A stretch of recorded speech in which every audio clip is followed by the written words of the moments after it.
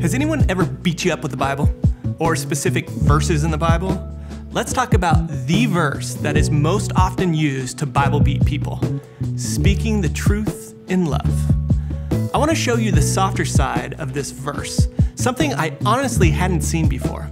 I want to acknowledge how the verse is inappropriately used by some Christians, then give you another way to look at it and show you how helpful and kind and encouraging Ephesians 4:15 can be. This can totally change your relationships for the better. I can't believe it's taken me 25 years to see a different way of reading this verse. I often hear Christians apply the idea of speaking the truth in love as a command to tell other people when they're acting sinfully, or a command to confront, correct, and rebuke, a call for tough love. It's the whole idea that's attributed to Mark Twain that truth hurts, but silence kills, which in some cases is true. But for now, let's take a step back and look at the context. When we consider verse 14 with verse 15, the Bible is saying just that.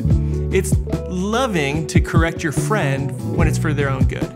The metaphor of a young person at sea struggling in the storm of false religious teaching most definitely teaches that it's loving to remind people of the truth they once ascribed to. This is also consistent with the Bible's teaching that wounds from a friend can be trusted.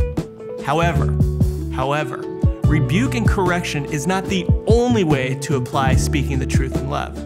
Let's take another step back and get even more context and look at the verse that follows verse 15, the whole speak the truth in love verse. Look at this. The body is building itself up in love. Why do we miss that? Speaking the truth in love, we easily see, but why do we miss the idea of building others up in love? Building someone up is just another way to say encouraging someone. So let's apply speaking the truth in love in another completely legitimate way, but also an imposing way. Let's speak the truth in love by encouraging one another. Let's see the truly wonderful things in others and speak up about it. Let's see the goodness that they can't see in themselves and point it out to them. Have you ever had someone believe in you when you didn't believe in yourself?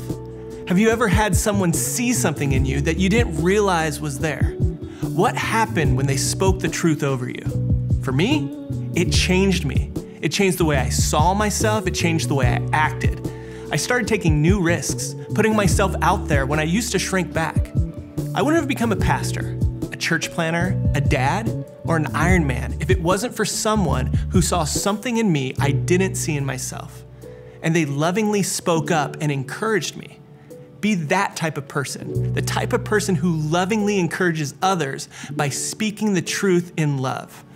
That's not the whole story with this verse. Next week, I'm going to talk about what to do when you find yourself in a situation where the person you love needs to hear the hard truth. So subscribe, turn on notifications, and like this video. And check out this video where I will bless you and encourage you to intentionally build others up. Be blessed, my friends.